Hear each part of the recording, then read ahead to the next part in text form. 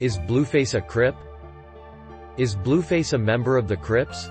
L.A. rapper Blueface has made no secret of his affiliation to the notorious Crip gang and he regularly references them in his music.